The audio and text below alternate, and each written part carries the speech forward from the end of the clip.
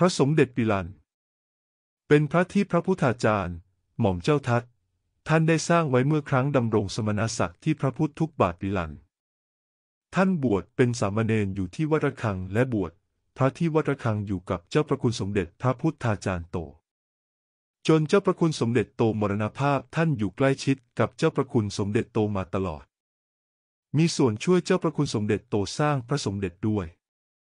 ในปีพุทธศักราช 2411 ท่านก็ได้สร้างพระเนื้อผงผสมใบลานเผา โดยท่านได้ปรึกษาและขอให้เจ้าประคุณสมเด็จโตช่วยสร้าง โดยเฉพาะอย่างยิ่งได้ขอผงพุทธคุณของเจ้าประคุณสมเด็จโตมาเป็นส่วนผสม พิมพ์ของพระสมเด็จปิลานนั้นมีอยู่มากมายหลายพิมพ์เมื่อสร้างเสร็จเจ้าประคุณสมเด็จก็ได้ร่วมปลูกเสกด้วย พระบางส่วนได้มีการแจกไปเมื่อปลูกเสกเสร็จ และส่วนที่เหลือได้ถูกเก็บรักษาไว้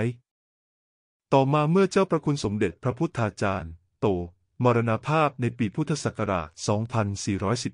2415 สมเด็จพระพุทธาจารย์ ทัตก็ได้นำพระทั้งหมดบรรจุไว้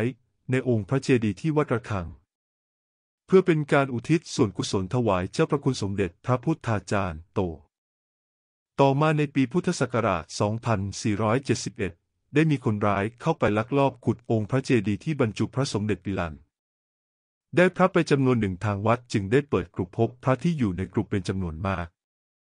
มีมากมายหลายพิมพ์มีทั้งพิมพ์ยืนพระสี่เหลี่ยมแบบพระสมเด็จพระปิดตาและอื่นๆ พระเกือบทั้งหมดเป็นพระเนื้อผงผสมใบลานมีเนื้อสีออกเทาๆอมดำที่เป็นเนื้อสีขาวแบบพระเนื้อผงขาวก็มีบ้างแต่น้อยมากส่วนใหญ่ จะเป็นพิมพ์แบบสี่เหลี่ยม หลังจากนั้นก็นำพระมาเก็บรักษาไว้และแจกจ่ายให้แก่ผู้ที่มาขอพระ